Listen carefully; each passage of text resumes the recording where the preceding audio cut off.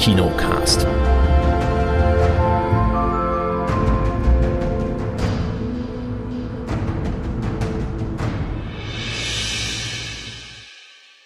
Hallo und herzlich willkommen zum neuen Kinocast. Hier ist erstmal der Chris. Hallo Chris. Hallo lieber Erik. Denn die Kate kommt nachher später noch dazu. Genau, die hat gerade noch ein bisschen zu tun. Und ja, genau, hier ist der Erik. Ich grüße auch. Ähm, wir haben Filme mitgebracht, wie immer. Heute gibt's One for the Road mit Frederik Lau und Nora Tschirner aus der Sneak Preview der vergangenen Woche von Innenstadtkinos. Der startet auch demnächst. Finden wir aber noch raus, wann der startet. Vielleicht sogar diese Woche, mal schauen.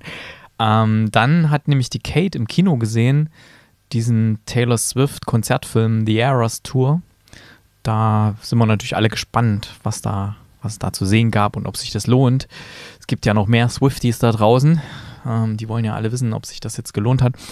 Ich habe im Heimkino einen Film nachgeholt, der wahrscheinlich auch wie der Film von letzter Woche demnächst auf Netflix dann kostenlos kommt, nämlich äh, Evil Dead Rise.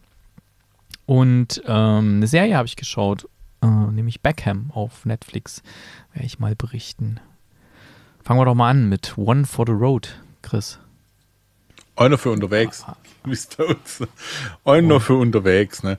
One for the Road, ja. Ähm, Geht es um Mark, der wird gespielt von eben äh, diesem, wie du schon erwähnt hast, Frederik Lau, der auch komplett hier diesen Film zu tragen hat. Und wir wissen, dass Frederik Lau da durch, äh, dafür durchaus in der Lage ist, oder dazu durchaus in der Lage ist. Und Mark äh, ist einer, der ja ähm, sehr, sehr gerne feiert, sehr, sehr gerne Alkohol trinkt, dem sehr, sehr zugeneigt ist. Und so kommt es eben zu dieser ungünstigen Situation, dass er im Suff feststellt, hey, mein Auto hat eigentlich einen besseren Parkplatz verdient und möchte dann sein Auto umparken. Und wie es halt so ist, in dem Moment steht die Polizei neben ihm, äh, fragt ihn dann so, na, na, wie sieht's aus so? Hm? Also, äh, ich parke hier nur um und alles easy. Sieht die Polizei eben nicht so easy und nimmt ihn den Führerschein ab, was für Mark seines Zeichens Bauleiter einer äh, größeren Baustelle, nicht so ganz, ganz die geile Nummer ist. Und er muss dann in ein, ein Programm, einen sogenannten MPU-Kurs, äh, bis er äh, zu, einer, zu einer Prüfung kommt, um eben dann wieder seinen Führerschein zu bekommen.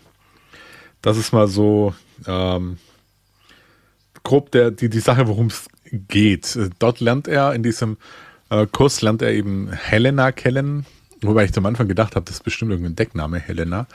Das ist Nora Tschirner, die hat natürlich dasselbe Problem, sonst wäre sie nicht in diesem Kurs. Und ja, von diesem anfänglichen ähm, so, so gegenseitige Angezicke so ein bisschen und äh, was willst du eigentlich? Und ähm, ja, ich habe eigentlich nicht so das Problem und dieses auch nicht wahrhaben von beiden Seiten.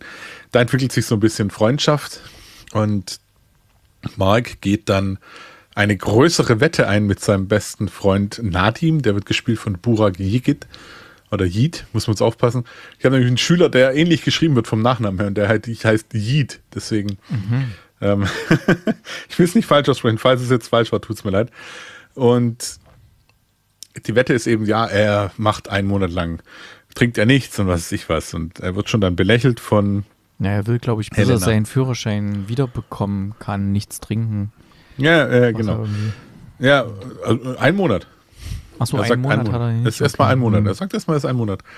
Und äh, die Helena lacht ihn da schon mehr oder weniger aus, weil sie sagt, ja, das kann ich vergessen, wird eh nichts. Und er sagt, doch, doch, doch, das kann er, weil, hä? Und überhaupt. Und sie weist sogar den Weg vor, was nach zwei Wochen sein wird, was nach vier Wochen, drei Wochen, was weiß ich was sein wird. Und ja, am Ende des Monats ist es dann tatsächlich so, dass es Mark nicht schafft.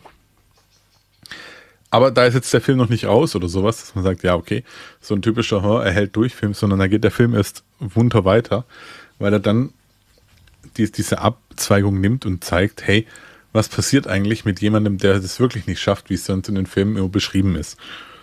Und so entwickelt sich dann eben die Geschichte weiter, dass Mark seinen Job aufs Spiel setzt, seine Sicherheit aufs Spiel setzt, das Leben von Helena mit aufs Spiel setzt, die äh, ihres Zeichens auch äh, ganz gewaltige Probleme hat. Sie ist Grundschullehrerin und gibt, und, und, und gibt da auch verschiedene Sachen vor, wie zum Beispiel schwanger sein oder was weiß ich was, wenn sie sich mal aus Alkoholgründen übergeben muss. Und ja, ähm, wie das dann weitergeht, wo das dann endet und äh, wie das mit, mit Mark und Helena sich entwickelt, das, das lassen wir jetzt an der Stelle mal offen, weil es ist nicht immer alles so, wie es anfangs vielleicht scheint oder wie man sich das auch in einem Film wünscht. Und natürlich auch ganz wichtig, kann sich Mark das eingestehen, dass er wirklich ein Problem mit Alkohol hat oder, äh, oder, oder sagt er immer noch, ich habe das alles im Griff. Hm. Was ja vom Trailer her so ein bisschen aussieht, als wäre das so eine Liebesgeschichte vielleicht auch zwischen ihm und Nora Tschirner. Das ist halt nicht so, sondern es geht zum Glück in eine andere Richtung.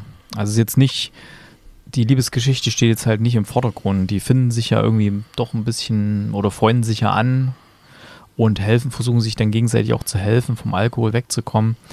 Weil das ist halt für ihn auch der Ausgleich. Er ist halt tagsüber da als Bauleiter, hat er echt viel zu tun und dann abends ich meine, seine Wohnung, die gibt jetzt nicht viel her. Der hat jetzt keinen kein Bildschirm, äh, wo er vielleicht Netflix gucken kann, keine Playstation, gar nichts. Ja, also er sitzt dann irgendwo da am Tisch und macht sich dann halt eine Flasche auf und oder geht halt raus und trifft sich mit Freunden und da fließt auch meistens der Alkohol und heutzutage ist ja fast immer noch so, man muss sich eher rechtfertigen, wenn man nichts trinkt und ähm, das wird in dem Film halt auch ganz gut thematisiert. Das kenne ich auch aus eigener Erfahrung und das ist schon sehr interessant, was der Film so für, für äh, Themen aufmacht und wie er sie auch darstellt. Und ähm, aber auf eine, auf eine sehr gute Art und Weise. Es ist jetzt nicht irgendwie belehrend oder oberlehrerhaft oder so, sondern wirklich ähm, sehr, sehr nah an der Realität und ähm, auch gut gespielt, auch bis in die Nebenfiguren. Du hast ja eben schon die, seinen, seinen besten Freund da erwähnt ähm, und auch die, die, ganzen anderen, also die hatte ich alle noch nie gesehen, außer jetzt Nora Tschirner und Frederik Lau. Die, die anderen kannte ich alle nicht, also nirgendwo.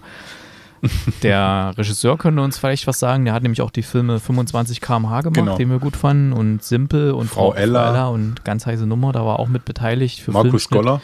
Genau, und ähm, auch der, der das Drehbuch geschrieben hat, der Oliver Ziegenbalg, da kann sich bestimmt noch erinnern, den hat man nämlich auch schon mal genannt, glaube ich, bei 25 km/h. Ja, also auch die, das Drehbuch ist ziemlich gut, ähm, wie das alles so aufgebaut ist. Auch diese ganzen Nebencharaktere, die genügend Raum bekommen, um interessant zu sein, aber nicht zu viel Raum bekommen, um der Hauptstory dann irgendwie die, die, die Show zu stehlen.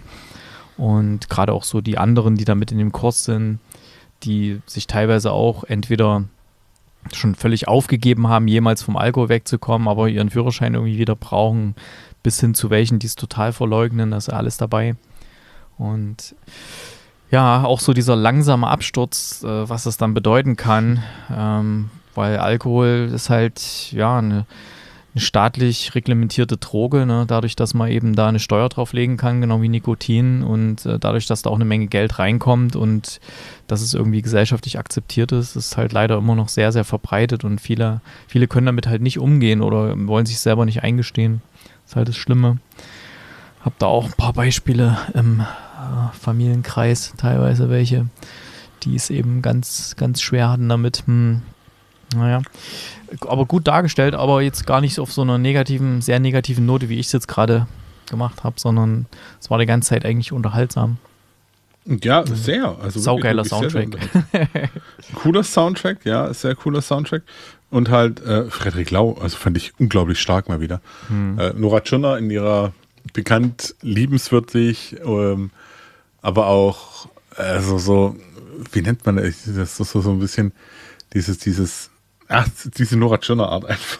ich weiß ich gerade nicht genau, wie man es gut beschreiben soll. Fand ich eigentlich, die haben auch eine super Chemie gehabt, die beiden. Also fand ich sehr gut. Aber, aber Friedrich Lau fand ich richtig, richtig stark in dem Film. Hm. Also wirklich. Weil der hat auch eine sehr, eine sehr starke Szene, ähm, ich will es natürlich nicht spoilern, aber dann sitzt er, kommt er schon in diesen Anführungszeichen Klassenraum rein und äh, es ist nur der Lehrer da. Und der, dann gibt es so, so ein Gespräch zwischen den beiden, fand ich absolut stark. Also richtig starke mhm. Szene.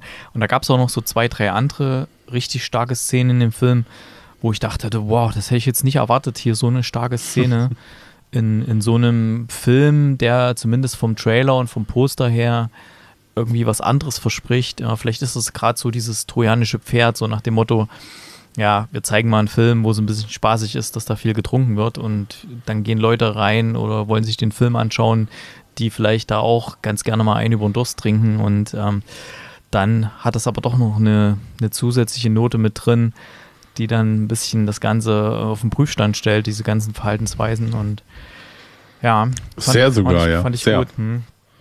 Fand ich gut. Deswegen, ja, war, war eigentlich eine recht runde Sache.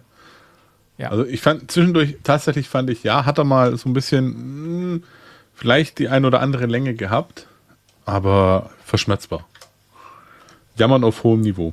Definitiv. Also es war jetzt der dritte gute Sneak-Film in Folge. Ich bin mal gespannt, wie lange dieser Streak hier anhält in der Sneak Preview oder wann jetzt mal wieder so ein richtiger Scheißfilm kommt, der, wo wir dann sagen, um Gottes Willen, was war denn das?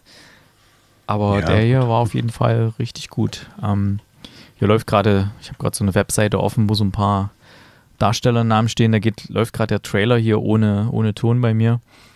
Also der Trailer ist schon ein bisschen, ja, also irreführend vielleicht.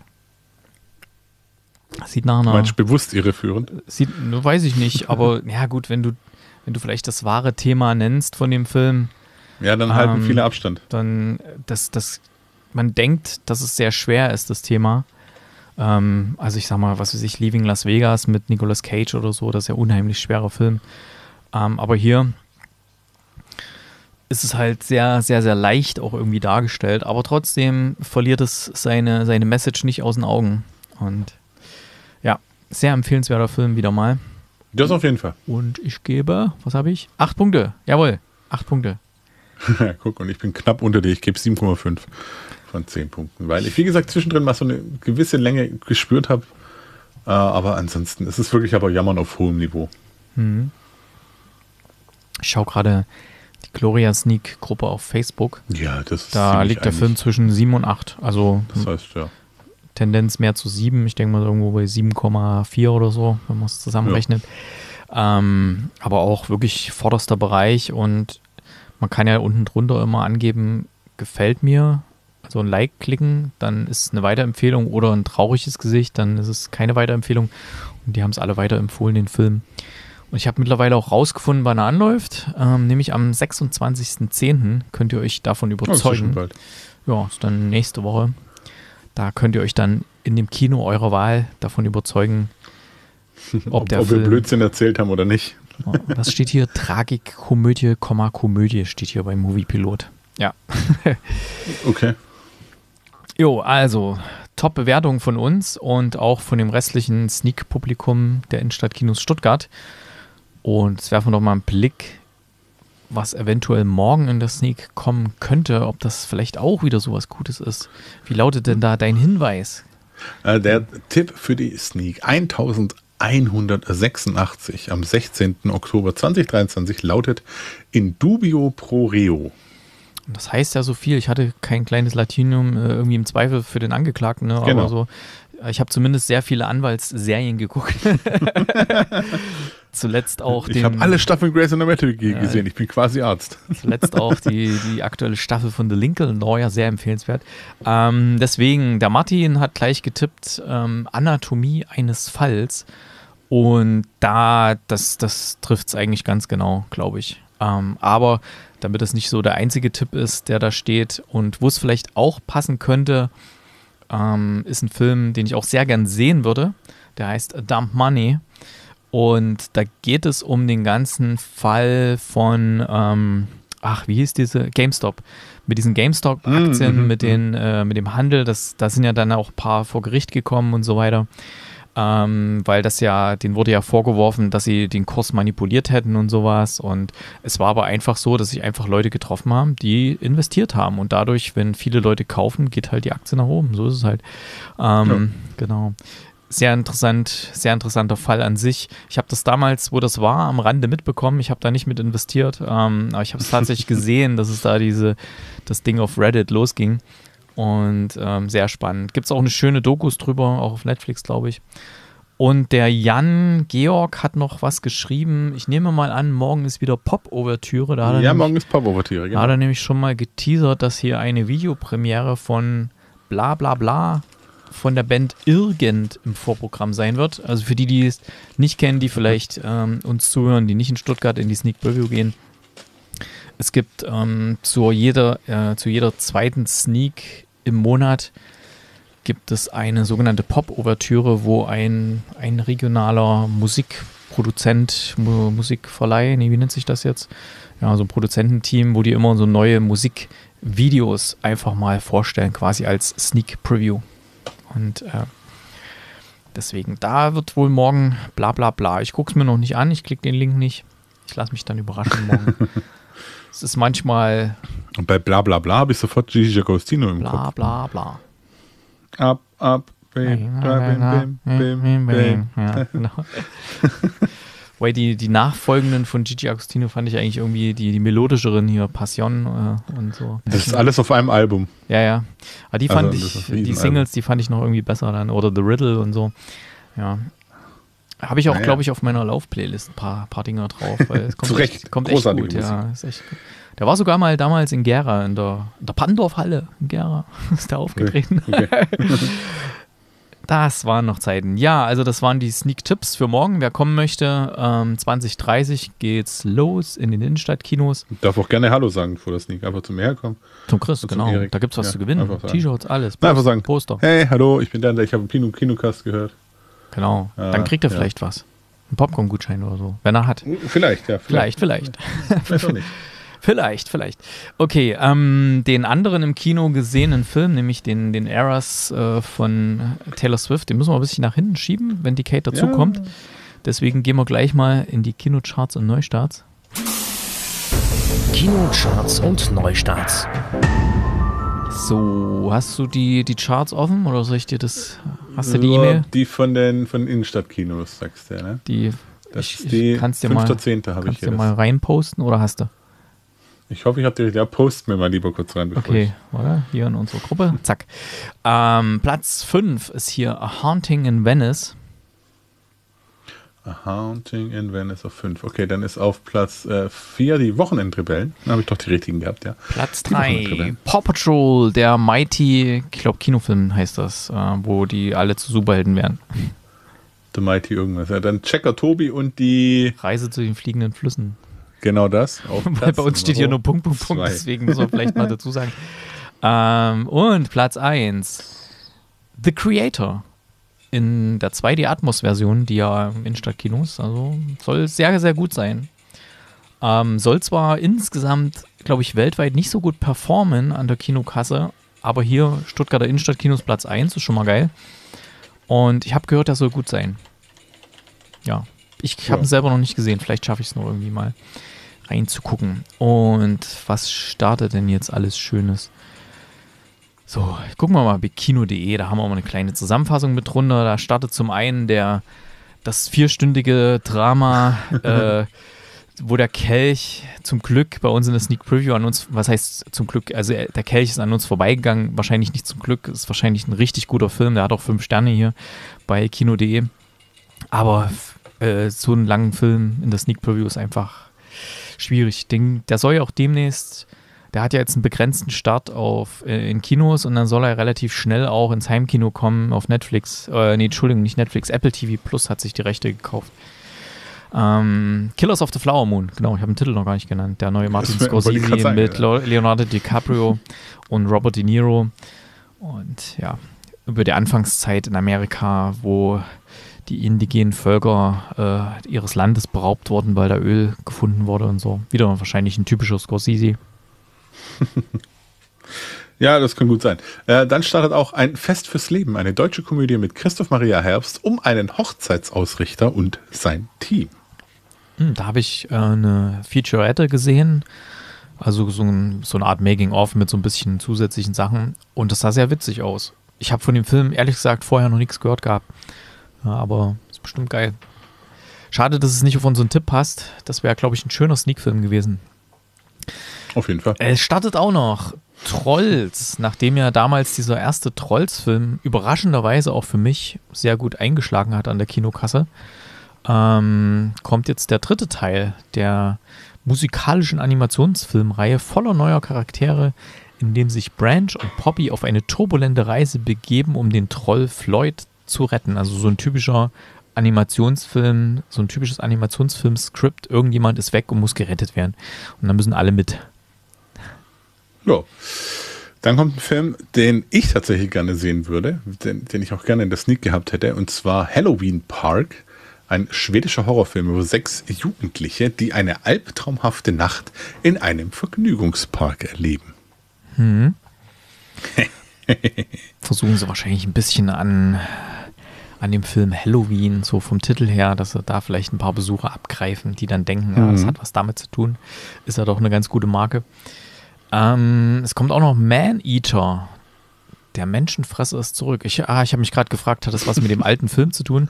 Den alten Fulci-Film? Ja, äh, tatsächlich. Die Fortsetzung eines italienischen Horrorfilms der 80er Jahre, der 36 Jahre lang beschlagnahmt war. Ich weiß gar nicht, ob ich den Namen überhaupt jetzt nennen darf hier. Also, Ja, wenn das Kino ist, kommt, Ist, also. ist, nee, den neuen, äh, den alten meine ich, wenn der so lange beschlagnahmt war. Ich habe ihn damals gesehen. Man Eater. Der war gar Okay. nicht so heftig. Also jetzt aus heutiger Sicht, aber. Hm. Ja. Ein Drama habe ich noch mit Ingeborg Bachmann, Reise in die Wüste. Deutscher Spielfilm über die aufreibende Liebesbeziehung zwischen Ingeborg Bachmann und, und Max Frisch. Max Frisch, oder ein Schriftsteller. Mhm. Äh, Tango Shalom, eine US-amerikanische Komödie über Scha chassidischen Rabbi, der versucht, mit Hilfe der Oberhäupter anderer Religionen an einem Tango-Wettbewerb teilzunehmen. Okay. Der nächste Film ist was für mich, das sehe ich schon. Ja, der, nächste ist was für dich. Deep Fear, Survival Thriller, in dem eine Taucherin zwei mysteriöse Schiffbrüchige an Bord nimmt und später von Haien attackiert wird. Warum kommt eigentlich sowas nicht in der Sneak, ey? Das wäre doch so geil. Wissen wir beide ganz genau, warum sowas nicht kommt. Das, das wäre so geil. 84 Minuten, ein High, High Survival Thriller, das ist bestimmt lustig, ey. ähm, es läuft auch noch an NYAD, ein Sportdrama nach wahren Begebenheiten von den Bemühungen einer 60-Jährigen von Florida nach Kuba ohne Haikäfig zu schwimmen. Okay. Ah ja. Okay, ähm, ja. Und dann haben wir noch Yuku und die Blume des Himalaya, ein Musikfilm, musikalischer und animierter Kinderfilm über eine abenteuerliche Maus, die eine besondere Blume sucht. Das Poster sieht niedlich aus da. Ja, Wollte ich nur mal gesagt haben. Äh, okay, das waren so die Neustarts der Woche und die Kinocharts. Da dürfte eigentlich für jeden was dabei sein. Obwohl meine Tochter hat mich gestern gefragt, die hatte Besuch, die, die hatte ja gestern Geburtstag und die wollten dann äh, eventuell irgendwie heute mal ins Kino gehen oder aber so richtig haben die nichts gefunden, wo sie gesagt hätten, das interessiert sie jetzt gerade aktuell. Ist gerade ein bisschen dünn. Ich hoffe mal, dass durch den ganzen Streik gerade, der ja immer noch nicht beendet ist, der Schauspielerstreik, ne? Ich hoffe mal, der dass Schauspielerstreik und der Autorenstreik. äh, nee, der Schauspielerstreik. Schauspielerstreik. Ja, mit. Das läuft immer noch. Also, ähm, und ja, ich hoffe mal, dass sie sich dann bald endlich mal einigen und dass es dann auch produziert wird, weil ich glaube, viele, viele ähm, Filmverleiher halten jetzt erstmal so noch ihre Filme so auch so ein bisschen zurück, weil sie jetzt nicht wissen, wie lange die Durststrecke dann andauert. Ne? Hm. Ja. Na gut, aber es gibt ja noch Heimkino und da kann man ja auch was gucken. Habe ich nämlich getan. Heimkino. Evil Dead Rise habe ich geschaut. Okay, Ja. viel Spaß. genau. Habe ich mir auch wieder gekauft gehabt hier mal, ähm, weil ich dachte, oh, habe ich jetzt Bock drauf, würde ich jetzt doch gern mal gucken. Habe ich mir den Trailer irgendwie angeschaut, ähm, ob der gut ist, bevor ich es gekauft habe und dachte, oh ja, doch, das geht jetzt mal. Ich bin ja er erklärter Fan der Reihe. Also wir haben natürlich, also je weiter man nach vorne geht, ist ähnlich wie bei, bei Star Wars, je weiter man chronologisch äh, im Jahr äh, der Zeit der Erscheinung nach vorne geht, desto besser gefällt es mir eigentlich. Ähm, und hier ist es auch so. Also mir gefällt eigentlich der allererste Tanz der Teufel-Film noch mit am besten und äh, ist einfach genial. Und der zweite ist auch sehr gut, der dritte ist auch okay und so. Und die anderen, ja, hm. der, den wir letztens mal in der Sneak hatten vor ein paar Jahren, ähm, der Evil Dead hieß der nur, ähm, der war auch saugeil, der von Fede Alvarez. Und jetzt. War das nicht der, der, der immer kaputt ging? Nee, nee, das war. Das war ähm, The Devil Rejects, was du meinst. Ah ja, genau, ja, Ja. genau. Das ist, stimmt, stimmt, Oh, stimmt, stimmt. Heute? Halbmarathon gelaufen, mein Gehirn ist du durchblutet. Ey, ich komme auf alles, er merkst du es? genau, genau. Genügend die. Luft in den Kopf bekommen heute, ja. Ähm, ich bin selber überrascht. ähm, also, Evil Dead Rise ähm, es fühlt sich so ein bisschen an wie so ein, als, als will man die, die ganze Reihe nochmal neu starten, so ein Reboot. Und ist aber hier genannt äh, als Horror-Sequel. Ähm, und er hat einen ganz kuriosen Anfang. Und jetzt bin ich mir nicht mehr ganz sicher, ob der Anfang von dem, ob der was mit diesem alten Film zu tun hat, mit dem alten nicht, mit dem, den wir in der Sneak hatten, mit Evil Dead. Bin ich mir nicht ganz sicher, wahrscheinlich. Und dann ist ganz komisch, da ist so eine Anfangsszene, die ist plötzlich vorbei und dann ist plötzlich findet was ganz anderes statt, völlig anderer Ort. Man sieht so eine, ja, so eine, so eine Mutter mit Kindern und ähm, die bekommt Besuch von ihrer Schwester und die Schwester, ja, die nennen sie alle nur so Groupie, weil die irgendwie so, ähm, ja, die hat halt Tattoos und geht da dunkle Haare gefärbt und geht halt gerne auf Rockkonzerte und hängt da mit den Musikern ab und so weiter.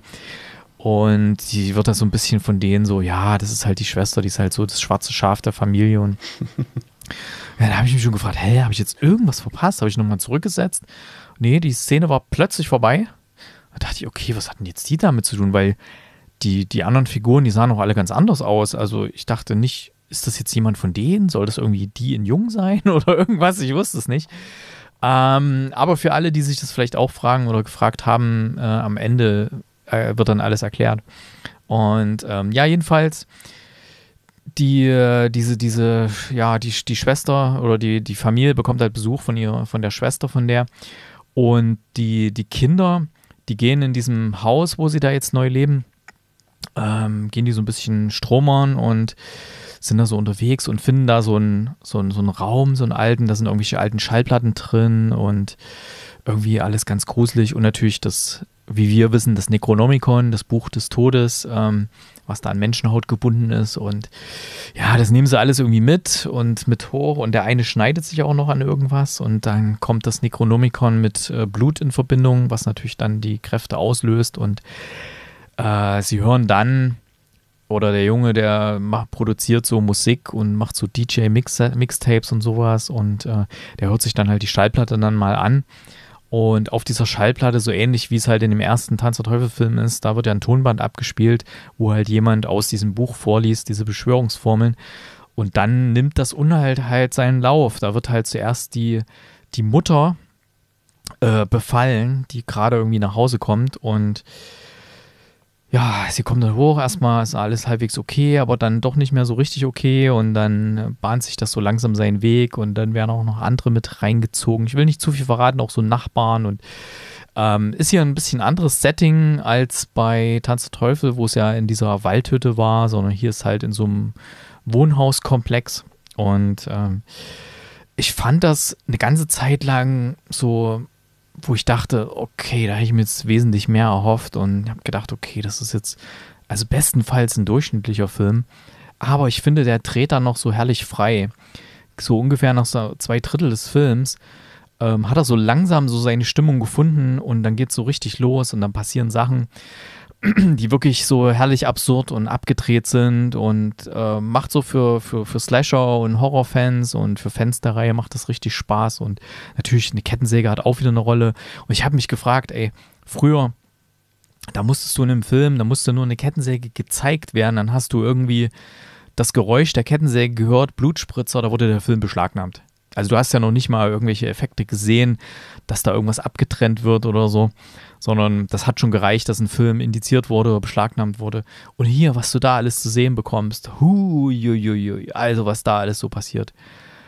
Hei, hei, hei. also das, da, das schlägt wirklich einen fassen Boden aus, was das dann so für, was da für Effekte drin sind, für Slasher-Effekte, hier Gore-Effekte und alles. Ne?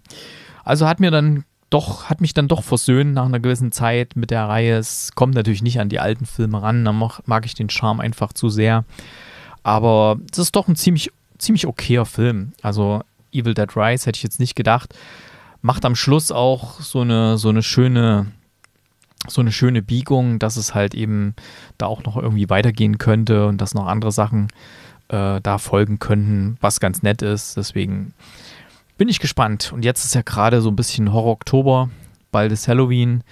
Ähm, kann man ruhig mal reinschalten. Aber wahrscheinlich, wie bei dem anderen Film, den ich letzte Woche vorgestellt habe, äh, The Pope's Exorcist, ähm, den habe ich mir gekauft gehabt und irgendwie dann textete mir schon der, der Martin hier, der mal bei dem Kino gearbeitet hat, der textet mir schon, ah, weißt du übrigens, den gibt es jetzt bei, äh, bei ähm, Netflix. und ich so, okay, hm, wusste ich aber nicht in dem Moment, wo ich es geliehen habe. Also es war wirklich ein paar Tage später, kam der kostenlos auf Netflix. Ja, vielleicht geht es mit dem auch so. Ähm, jetzt kommen ja bei diesen ganzen Streaming-Services sehr viele Horrorfilme rein ins Angebot. Vielleicht habt ihr Glück, dass der dann auch mit reinrutscht. Ähm, Evil Dead Rise. Also von mir bekommt er so in dieser ganzen Evil Dead-Reihe irgendwie sieben Punkte, was okay ist. Ähm, also ist jetzt kein, nicht vergleichbar mit irgendwelchen anderen Filmen. Wir haben ja hier bei, ähm, bei unserer Sneak Preview habe ich ja acht Punkte gegeben, also ist natürlich nicht vergleichbar mit dem. Ich nehme so in diesem, Bezei äh, in diesem, in diesem Genre Horrorfilm, Slasherfilm und Evil Dead, ja, bekommt er für mir sieben Punkte. Fand ich dann doch ganz okay. Hm? Okay. Ich nehme an, du hast den noch nicht gesehen. Nein. guck, Der ich, geht bisher mir vorbei, ja. ja, ich gucke mal hier rüber, ob die Kate was textet, ob sie mit reingenommen werden will in die Session. Nee, anscheinend nicht. Dann würde ich erstmal bei einer Serie weitermachen, die ich geschaut Ja, habe. Serien. Was eigentlich keine richtige fiktionale Serie ist, sondern, ja, ich hatte es ja schon im Intro erwähnt, es handelt sich um Beckham. Die Serie, die es auf Netflix gibt, die ja wahrscheinlich schon jeder gesehen hat. Und ähm, jetzt bekomme ich gerade die Meldung, dass die Kate da ist. Ich werde sie mal mit reinholen. Hm? Ähm, vielleicht warte ich doch noch mit Beckham. Dann kann die Kate erstmal noch was über Taylor Swift sagen. Kleinen Moment. Kriegt ihr alles hier live mit. Nur im Kinocast. so, hallo Kate. Hallo, Hi. Bist du da? Super. ich bin da. Willkommen in unserer kleinen Runde. Dankeschön. Dann würde ich mal warten, bevor ich mit Beckham anfange. Dann darfst du noch mal was äh, zu Taylor Swifts Eras Tour Movie erzählen, den du im Kino geschaut hast. Genau, ich war gestern, nee, stimmt gar nicht, am Freitag mit äh, meiner Nichte und meiner besten Freundin in diesem Alle Swifties. Konzertfilm. äh, naja, meine Freundin jetzt noch nicht so noch arg, nicht, aber, aber jetzt. aber die ist schon ganz schön Okay. angefixt jetzt, ja. Und schickt mir schon äh, Swifty Reels auf Instagram. Oh, das ist der Anfang. Und- ah. Meine Nichte auf jeden Fall, die ist gut mitgegangen. Also im Endeffekt gibt es gar nicht so viel zu, zu erzählen. Es ist einfach äh, das Konzert, die Eras Tour, ähm, äh, gefilmt. Während dem, also das Konzert im SoFi Stadium wurde äh, komplett aufgezeichnet ähm, und das Ganze als Film produziert. Ähm, also keine Backstage, kein Backstage, äh, Backstage-Szenen oder irgendwelche Interviews, sondern rein das Konzert. Der einzigste Unterschied zum Originalkonzert ist, es sind sechs Songs weniger. Äh, man hat sechs Songs rausgeschnitten. Warum auch immer, frag mich nicht, keine Ahnung. Mir Ich würde dich aber schon so. gerne fragen, warum, weil du bist ja die Expertin. ich weiß es aber nicht. Ich kann es euch nicht sagen. Es ist einfach so. Vielleicht, dass man eben doch äh, noch ein paar Songs hat, die nur auf dem Konzert performt werden. Ich weiß es nicht. Oder vielleicht kommt auch am Ende der Eras Tour nächstes Jahr ähm, dann äh, der ungeschnittene Film raus. Ich weiß es nicht. Keine Ahnung.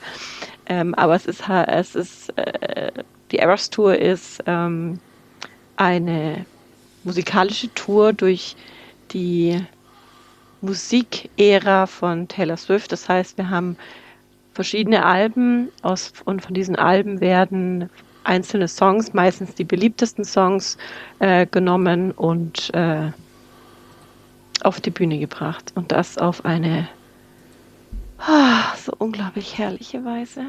Haut bestimmt Es- ordentlich rein, oder? Mit Atmos. Ah, das war der Wahnsinn. Also die erste halbe Stunde war es ein bisschen zu leise. Das haben die, hat der Filmvorführer dann aber gemerkt. Und dann wurde es lauter.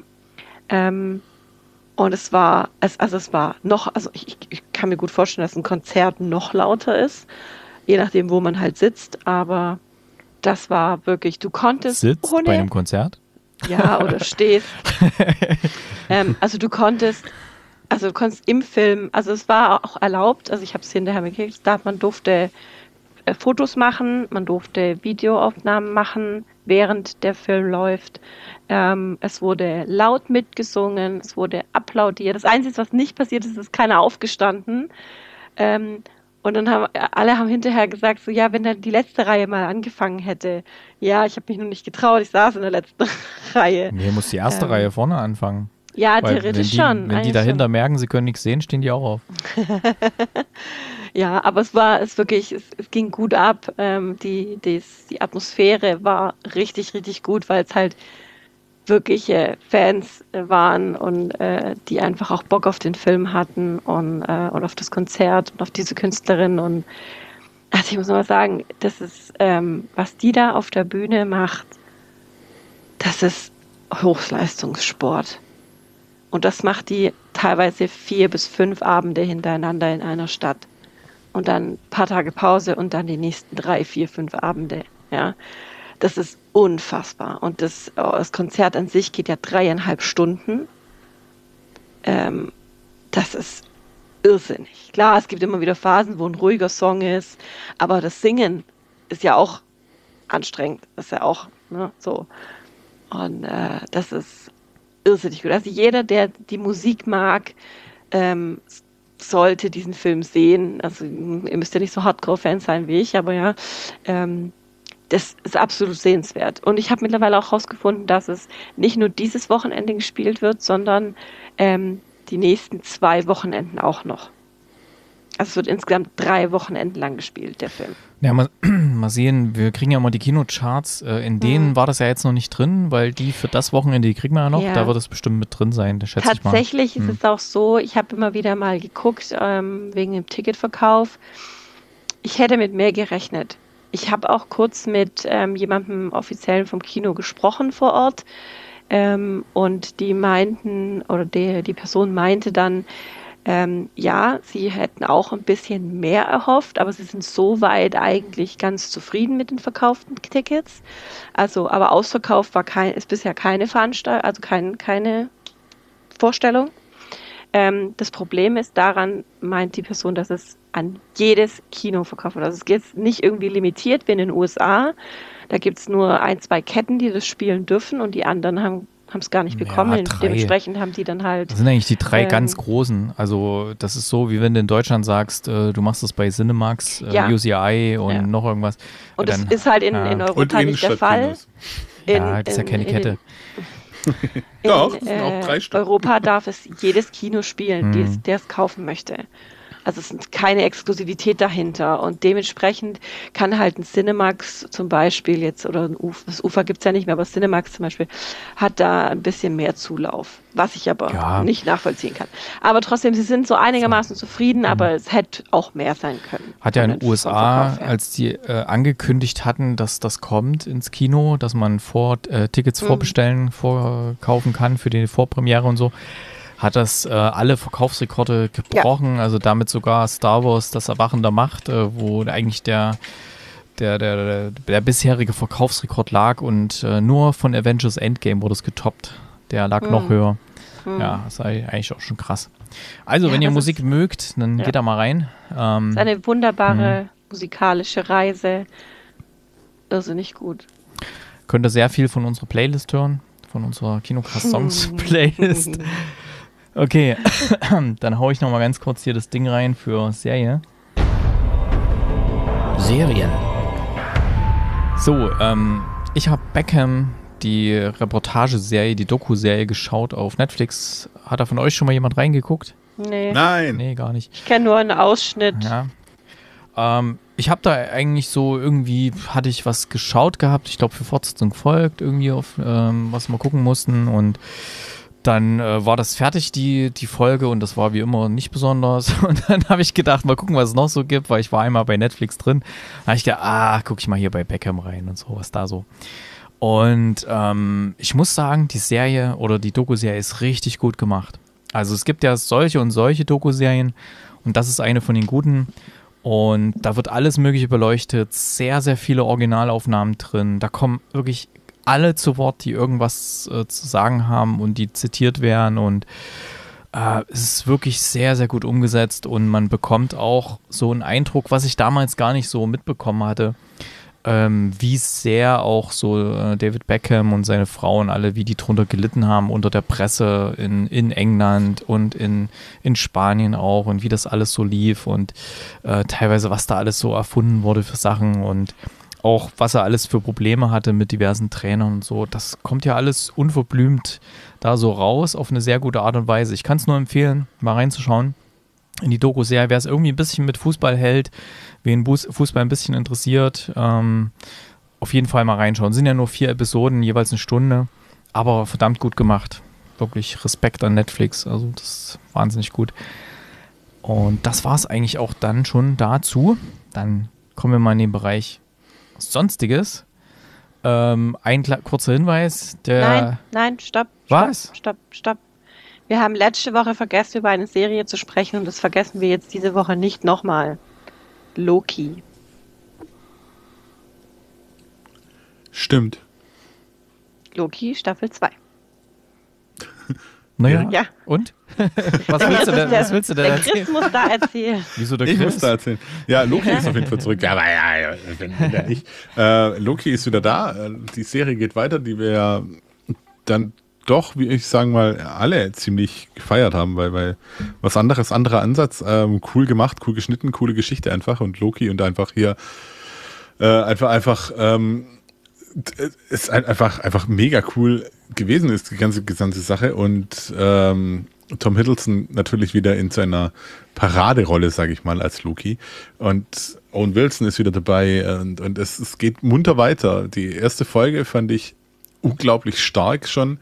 Äh, die hat sehr, sehr, sehr viel Spaß gemacht mit, mit dem ganzen Zeug, was da war, wie, wie es ihn zerrissen hat, was weiß ich was.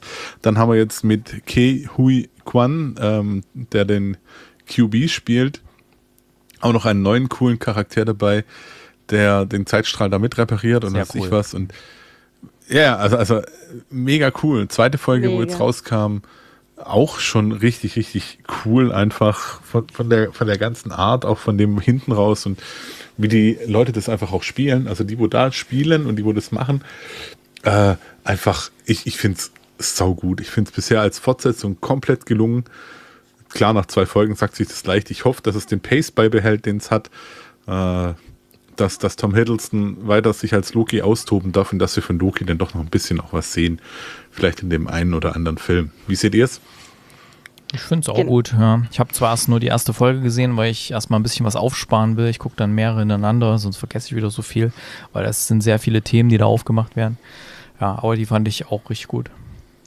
Ja, ich auch. Also ich muss sagen, ähm, in der ersten Folge dachte ich so, okay, das fängt schon mal richtig gut an. Und die zweite Folge war dann, der Gott des Schabernacks ist zurück. Oh mein Gott, so gut. Ja, also wirklich, ähm, ich habe, ich würde am liebsten die ganze Staffel schon durchgucken, aber leider mussten wir jede Woche warten.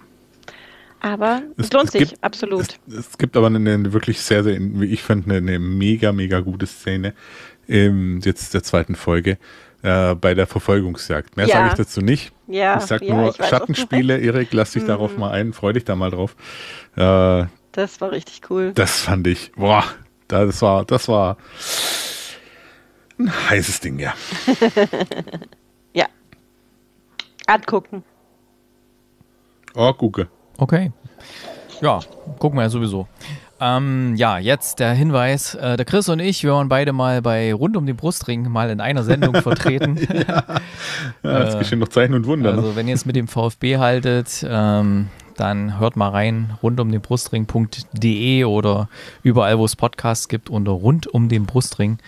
Genau, da waren beide mal in einer Sendung vertreten und ja, haben da ein bisschen über die aktuelle Situation beim VfB unter anderem gesprochen.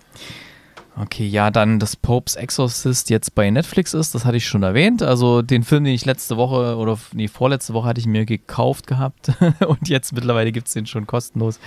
Oh. Ja, macht ja nichts. Mir hat er trotzdem Aber das ist gefallen. ärgerlich. Mir hat er trotzdem gefallen. Die, die 4,99 Euro, die habe ich auch noch übrig. Und ähm, genau, jetzt könnt ihr aber alle den mal bei Netflix gucken. Der hat auch weltweit, glaube ich, jetzt sogar Platz 3 äh, bei Netflix bei den Filmcharts. Also scheint ganz gut anzukommen. Ist ja jetzt auch gerade hier in dem Horror-Oktober, passt der ja ganz gut rein. So, und dann sind wir schon bei den Musiktipps und wir packen was auf unsere Playlist. Music. Kate, was packst du denn drauf? Wie könnte es auch anderes sein? Äh, ich packe einen Taylor Swift-Song drauf. Ah nein. Und zwar den unfassbar, unfassbar guten Song Karma. Hm. Chris, was packst du drauf? Äh, ich pack drauf und laut, laut Spotify ist der äh, von der Playlist von ähm, One for the Road und zwar Elton John Tiny Dancer. War das da drauf? Weiß gar nicht. Laut Spotify ja, deswegen habe ich gedacht, oh, passt. Auf jeden Fall war auch Eric Burden mit Good Times drin, auch geil. Ähm, ich packe aber drauf, habe ich nämlich heute auf dem Kopfhörern zufällig gehört, äh, Franka Potente featuring Thomas D. Wish, komm zu mir. Oh Baby, bitte, bitte, lauf, lauf, gib dich auf. das passt natürlich gut beim Laufen. ähm, jo, dann sind wir schon durch heute und ähm, hören wir uns dann nächste Woche wieder nach der Sneak Preview dieser Woche und mal gucken, was wir noch so schauen mittlerweile. Und euch beiden vielen Dank fürs Mitmachen. Bis dann. Tschüss. Auf Wiederhören. Tschüss.